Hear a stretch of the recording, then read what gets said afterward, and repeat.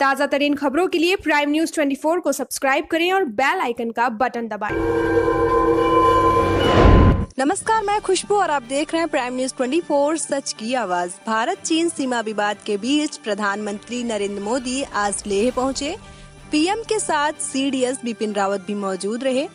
चीन से बॉर्डर पर जारी तनाव के बीच प्रधानमंत्री नरेंद्र मोदी अचानक लेह पहुँचे। शुक्रवार सुबह प्रधानमंत्री नरेंद्र मोदी यहाँ पहुँचे और जवानों से मुलाकात की। इससे पहले सिर्फ़ chief of defence staff Bipin Rawat को इस दौरे के लिए आना था। जानकारी के मुताबिक अपने इस दौरे में प्रधानमंत्री नरेंद्र मोदी 14 कॉर्प्स के अधिकारियों के साथ बात करेंगे। इसके अलावा सीडीएस बिपिन रावत के साथ मिलकर मौजूदा स्थिति का जायजा लेंगे। इस दौरान नार्दर्न आर्मी कमांड के lieutenant general Y K Joshi, lieutenant general Harinder Singh भी मौजूद होंगे।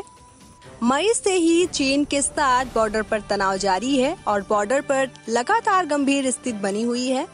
इस बीच प्रधानमंत्री नरेंद्र मोदी का यहाँ पर पहुँचना हर किसी को चौंकाता है।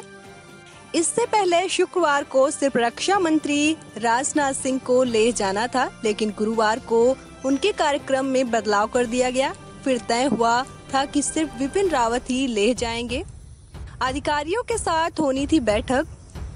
शुक्रवार को सीडीएस बिपिन रावत को यहाँ पर नॉर्थ कमांड और चौदह कॉप्स के अधिकारियों के साथ बैठक करनी थी। इस दौरान चीन के साथ मौजूदा तनाव, बॉर्डर की स्थिति का जायजा लेना था। इससे पहले सेना प्रमुख एम एम नरवड़े भी मौजूद रहे, जहाँ पर उन्होंने गलवान घाटी में घायल हुए जवानों से मुलाकात की थी।